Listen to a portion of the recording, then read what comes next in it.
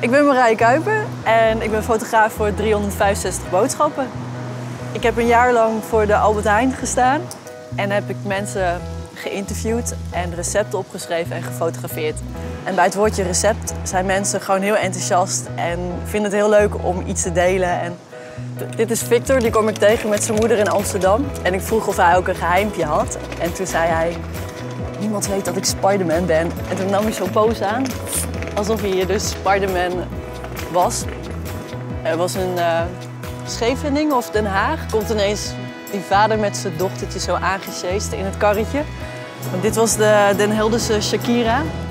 Ja, Keith was echt heel bijzonder. Die kwam ik in uh, Nijmegen tegen. Hij vertelde ook dat hij in Irak had hij gevochten in de oorlog.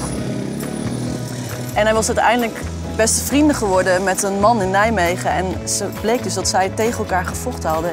En dat soort mooie verhaaltjes, dat is echt, ja, het is prachtig als mensen dat willen delen. En als je zo'n gesprek voor de supermarkt, voor de Albert Heijn hebt. Dat is echt geweldig. Nou, als ik dit allemaal zo zie, dan ben ik best wel een beetje trots.